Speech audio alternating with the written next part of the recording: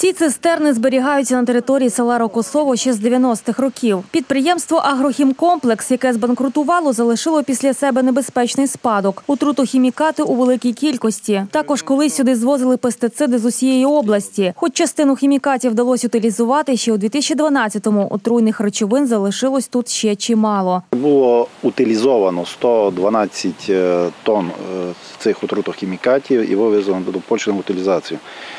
Далі е, залишилися у нас так звані е, заражені ґрунти.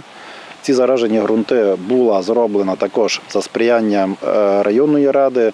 Виділені кошти для проведення експертизи у Харківському інституті, де було заключення, що це є ґрунти заражені, безпека першої категорії, значить перевищує вміст пестицидів цих всіх різних хімічних речовин у сотні разів. Знаходяться небезпечні цистерни на околиці села у так званій промисловій зоні. Та небезпека для місцевих від цього не менша. Вже за кілька десятків метрів від цих цистерн відчувається неприємний запах. При сильному вітрі, а дме він переважно в напрямку села.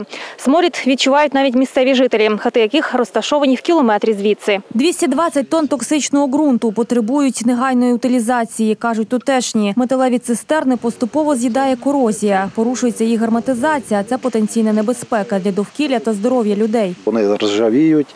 Е, Є е, така, е, як би кажуть, опасність в цьому, що, наприклад, якщо боязнь, якщо будуть паводки, коли в нас приходять паводки, значить виливає тиса, заливає ці всі поля наші і тече от нашу річку, Гашпарку впадає після цього. Вже в нас неодноразово то було. Значить, були в нас такі моменти, що коли було затоплено наше пасове поле. Існує небезпека, що через гравійні прибережні ґрунти хімікати можуть спокійно потрапити як в тису, так і в ґрунтові води. Цілком можливо, що колись отрута з'явиться навіть в криницях людей. Статистично навіть от так доказували, що десь е, люди помирали від е, там, захворювання різних. Я не буду казати, що там зараз то є 100%, але ті різні алергічні захворювання, можливо, викликані цими всіма е, цими отрутохімікатами. Утилізація однієї тонни отрутохімікатів ще у 2013-му коштувала 22 тисячі гривень, а нині і того більше. Тож без державної допомоги вирішити це питання неможливо. Численні звернення до міністерства екології досі нічого не дали. Тим часом розгерметизація цистерн може статися будь-якої миті, і тоді кошти потрібно буде шукати вже на ліквідацію екологічного лиха.